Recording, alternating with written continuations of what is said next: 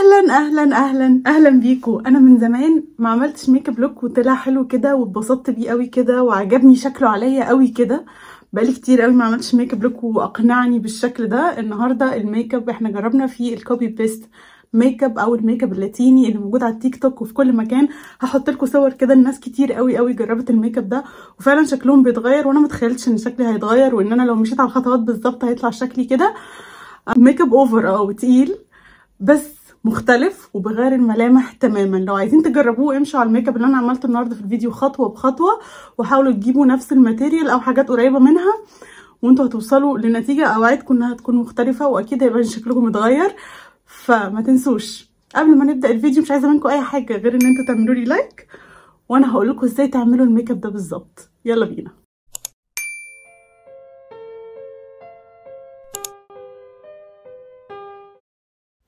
أول خطوة في ال make up ده هي رسمة الحواجب لازم تكون تقيلة وواضحة. عشان كده هنستخدم جل الحواجب ده من عند أنستيزيا وهنرسم الحواجب بشكل واضح وكده زي أيام زمان أيام ما كنا بنحدد الحاجب من كل اتجاه فهنعمل كده خط من تحت زي ما أنتم شايفين ب strokes كده أو خطوط صغيرة جنب بعض. ونبتدي نملى الشعر اللي جوه أو الأماكن الفراغات أو حتى لو مش فراغات برضو هنمشي عليها من جوه وكمان هنعمل من فوق. بس أهم حاجة ما نجيش عند أول الحاجب خالص. آه هنا كده أنا ابتديت أتقل الحاجب كده وأملى كل مكان في الحاجب. لازم الحاجب يكون تقيل ومرسوم في ال make up ده. عملت الحاجب من فوق ومن تحت باقي بس الحتة اللي في الأول وبالبواقي اللي على الفرشة هبتدي أطلع لقدام كده سنة سنة وأعمل الحتة اللي في الأول بالباقي على الفرشة. أحب أكد إن إحنا مش هنحط عليها جل تاني عشان عايزين من قدام يكون شكله خفيف. أنا بقالي زمان قوي ما عملتش حواجبي بالجل وبصراحة حسيت إن شكلهم حلو قوي ويعني بجد شكلهم perfect زي ما أنتم شايفين كده بصوا الفرق ما بين الحاجبين. تحفة. هعمل الحاجب التاني بقى بسرعة. وبنفس الخطوات وبنفس الطريقة هنملى من التحت وبعد كده من جوه الحاجب وبعدين بالباقي على الفرشة برضو هنعمل من أول الحاجب ونحاول نخليهم من الاتنين يكونوا شبه بعض قدر الإمكان. ونحاول بس كده إن إحنا نبص على الحواجب ونشوف شكلهم. لو في حاجة كده يعني أعلى من حاجة أو أقل من حاجة نبتدي نحاول نظبطهم. وبعد كده هنبتدي نجيب ال concealer أهم حاجة يكون full coverage وأنا هنا استخدمت ال L'Oréal. وهنبتدي بقى نحدد الحواجب عشان تبقى مظبوطة ومرسومة.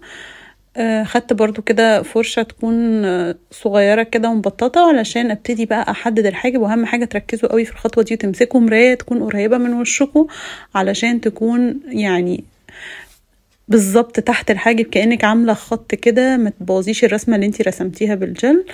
وزي ما أنتم شايفين كده إحنا بنبتدي نمشي تحت الحاجب كله وكمان فوق الحاجب. كأننا بنعمل كده مربع حوالين الحاجب اللي إحنا رسمناه. هيخلي الحواجب شكلها perfect أكتر ودي من أهم خطوات الميك أب ده اللي هو الميك أب اللاتيني. أحب أكرر عشان لو أنتوا حابين تدوروا عليه وتشوفوا آه review هات عنه على تيك توك أو حتى على اليوتيوب هتلاقوا ناس كتير قوي قوي أجانب بتتكلم عليه. وبصراحة ممتاز وأنا حابة إن أنتوا تجربوه وتشوفوا شكلكم شكلكم فيه هيبقى عامل إزاي هتتفاجئوا فعلا بالنتيجة. بصوا إحنا بنوصل ال concealer كده الناحية التانية تحاولوا تعملوا إن الحاجبين مع بعض في frame واحد. برضو هنمشي من فوق ومن تحت وزي ما قلت لكم أهم حاجة تكونوا ماسكين مراية وتكون قريبة من وشكم علشان الميك اب يكون مظبوط ويكون في دقة كده في الرسم بتاع الحاجب. وهنا أهم حاجة في في الفقرة دي اللي هي فقرة إن إحنا نظبط الحواجب بال concealer إن إحنا بنحاول نخليهم الاتنين يعني في مستوى واحد ما يبقاش حاجب أعلى من حاجب وبنيجي كده نقسم الحتة اللي في النص. زي ما أنتم شايفين كده هيبان قوي إن أول الحاجب بيكون اخف في الرسم من بقية الحاجب. بيديكوا شكل ombre كده تحفة. هنجيب بقى كده ال sponge ونبتدي نوزع ال concealer اللي إحنا عملناه ده من غير ما نقرب على رسمة الحاجب. إحنا بن... بندمج ال concealer تحت وفوق فقط لكن ما بنقربش من الحاجب أو ما نحاولش ان إحنا نبوظ الرسمة. أه خصوصا لو كان الجل اللي أنتوا بتستخدموه بيتحرك بس هو الجل ده ما بيتحركش خالص.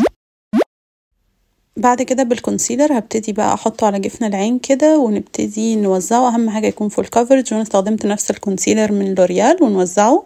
ونجيب أقوى رموش في حياتنا أنا استخدمت دي من عند Catrice وهوب اتركبت وبأي أي shadow beige عندك أنا استخدمت ده من Huda Beauty وهبتدي أثبت ال concealer اللي إحنا حطيناه على جفن العين. أهم حاجة ما يكونش فيه أي خطوط قبل ما نثبت علشان يكون كده الشكل ممسوح وكده مظبوط جدا فوق العين.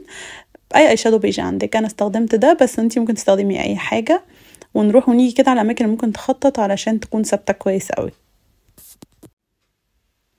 لو أنتوا حسيتوا ان أنا الخطوات سريعة شوية ممكن ترجعوا الفيديو أو توقفوه وتبتدوا تشتغلوا معاه هستخدم بعد كده gel liner من عند Inglot ويكون يعني أي gel liner يكون ثابت وانتي بترتاحي عليه. وهنبتدي نقرب كده بس ما تتخضوش. أنا بقرب بس عشان تشوفوا الخطوات بالظبط. آه هنعمل خط كده من الأيلاينر يكون قريب قوي قوي قوي من الرموش اللي إحنا رسمينها ما يكونش عريض خالص. أهم حاجة إن إحنا نغطي الخط بتاع الرموش. ولو أنتوا حسيتوا إن الموضوع صعب بعد ما ركبتوا الرموش عشان هي طويلة وتقيلة ممكن تعملوا خط الأيلاينر الأول وبعدين تركبوا الرموش. مش هتفرق بس المهم يكون الخط قريب ومش هنمده لبره. يعني هو هنقف كده عند آخر العين بالظبط. الفرق ما بين العين اللي اتحددت والعين اللي لأ الفرق واضح جدا. ودلوقتي هنستخدم foundation يكون full coverage هنستخدم Huda Beauty مع Super Stay عارفة ان الاتنين full coverage والاتنين تقال قوي قوي بس أنا ال Huda Beauty اليومين دول غمق عليا معرفش ليه. فعشان كده أنا بعمل له mix مع ال Super Stay لأنه فاتح عليا فيديني الدرجة perfect لكن استخدمي أي foundation full coverage عندك هيعمل معاكي نفس الشغل المهم يكون تغطيته عالية جدا. بعد كده برضو هنستخدم آه الاسبونجة دي عشان نفرد كل ال foundation على الوش وناخد وقتنا في الدمج. وبعدين برضو بال concealer بتاع L'Oréal وهبتدي أنور بقى الأماكن اللي إحنا عايزين ننورها في الوش كله يعني خدي وقتك. يعني اعملي كده highlighter بشكل كويس قوي قوي في الأماكن اللي انت عايزة تنوريها. أنا عملت هنا تحت العين وفي جناب الوش كده عشان أنا وشي طويل فبحب أعرض الحتة دي شوية. انت ممكن تعمليها بالشكل اللي يليق على وشك. يعني تحطي في الأماكن اللي انت بتحبيها إنها تكون منورة. واللي هي في نص الوش دي بقى بتليق على أي حد سواء وشك طويل أو مدور هتليق عليكي. بعد كده برضو هنبتدي ندمج كل ال concealer ده وندمجه كده في مكانه عشان نحافظ على الأماكن اللي إحنا حاطينها وأنا كده هقلب السفنجة اللي أنا بعمل بيها دي وأبتدي أثبت بال powder دي من عند SHEGLAM أو أي loose powder عندك وهنشيل الزيادة كده منها ونبتدي نثبت تحت العين. المهم تتأكدي إن مفيش أي خطوط تحت العين قبل ما تبتدي تثبتي وقبل ما تعملي الخطوة دي علشان يبقى الشكل flawless ومظبوط قوي قوي زي ما الميك اب ده بيقول إنه بيخلي الوش كله كده ناعم وبيلمع وشكله تحفة.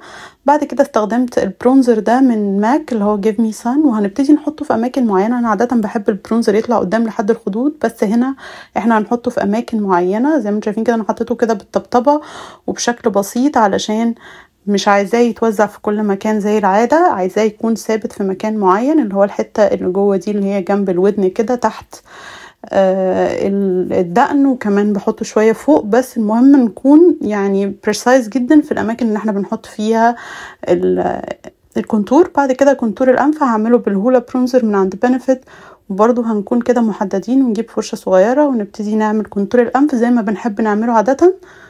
ويعني المهم تاخدوا وقتكم في كل خطوة في الميك اب ده عشان يطلع ممتاز لأنه الميك اب ده أهم حاجة فيه إن إحنا نعمل كل خطوة فيه perfect contour هنا أنا عملت ال contour بتاع الأنف يعني زي خطين كده من الجنب بس ما نزلتهمش لحد الآخر. وقفت كده عند الحتة اللي هي ال tip بتاعة ال nose دي وعملت خط كده بالعرض وبعد كده عملت خط من تحت. كأنك بتعملي كده highlight للحتة اللي هي المدورة اللي في أول الأنف دي. ده بيصغر الأنف جدا جدا مهما كان شكلها كبير أو أي حاجة. وبعد كده هناخد البلاشر ده من عند Benefit ده اسمه كاليفورنيا وبرده هنضحك كده ونحطه على الحتة بتاعة الخدود بالظبط. يعني أنا عادة إيدي بتاكلني وأحب أطلعه قدام قوي بس هنا أنا ما عملتش كده. وبعدين نجيب ال powder بقى ونبتدي ننظف كده حوالين ال contour اللي عملناه للأنف ده. ونحاول نخليه مظبوط كده على قد ما نقدر ونحاول إن إحنا ننور الحتت اللي حوالين ال contour عشان نظهر ال contour وكمان من النص كده. بعد كده هنجيب بقى فرشة ونشيل كل ال powder الزيادة دي. يعني ما عملتش baking قوي أنا على طول شلت ال powder بس أصلا ال foundation full coverage محتاج baking perfect بصراحة البشرة. بعد كده هستخدم ال Watt's Up highlighter من Benefit هو اسمه كده بس هو يعني highlighter يعتبر ضعيف وكريمي شوية وهو ال look ده مش محتاج highlighter قوي فهنحط كده على الخدود وعلى الأنف وعلى يعني الأماكن اللي إحنا حابين إن إحنا ننورها بس ما نكترش قوي highlighter بعد كده هنستخدم lip liner يكون بني هنستخدم ده من عند Huda Beauty وهنحدد الشفايف لأنه تحديد الشفايف في ال look ده أساسي إن إحنا نكون محددين الشفايف قوي وبلون يكون غامق قوي. الرير. قوي بس طيب. قوي. قوي. بعد كده هنحدد الشفايف كده من الجناب بنفس قلم ال lip liner ده المهم زي ما قلت لكم يكون بني وغامق. بصوا كده الشفايف متحددة قوي قوي وبعد كده هنجيب فرشة يكون فيها كده loose powder تكون صغيرة ونبتدي ننضف جوانب الفم مظبوط عشان تبقى الشفايف perfect أنا قلت perfect كتير قوي. بعد كده من MAC أستخدم ال matte lip liner ده اسمه Lady Be Good وهو درجة تكون بيج كده. أنا بحاول أوصل لنفس الشكل بتاع الشفايف اللي هم بيعملوها بالحاجات اللي موجودة عندي. فعشان أعمل الشكل ده هجيب كمان Maybelline Super Stay درجة رقم سبعين علشان أغمق زيادة شوية لأنه حسيت اللون بتاع MAC فتحه قوي. المهم تكون الجوانب غامقة وفي النص يكون فاتح. وبعد كده هنجيب نقطة concealer برضو ال concealer بتاع L'Oréal اللي إحنا استخدمناه وهنحطها في النص كده علشان ننور الحتة اللي في النص قوي. ولما رجعت للصورة وبصيت عليها كويس لقيتها في النص كده لونها pink فجبت pink eye shadow وحطيته على الحتة اللي في النص اللي إحنا حطينا فيها concealer علشان يدي كده hint pink في نص الشفايف. بيخلي الشكل تحفة. بصراحة الفيديو ظالم الصورة الصورة في الحقيقة وال make up في الحقيقة كان شكله أحلى بكتير قوي قوي من الفيديو. عجبني جدا جدا جدا.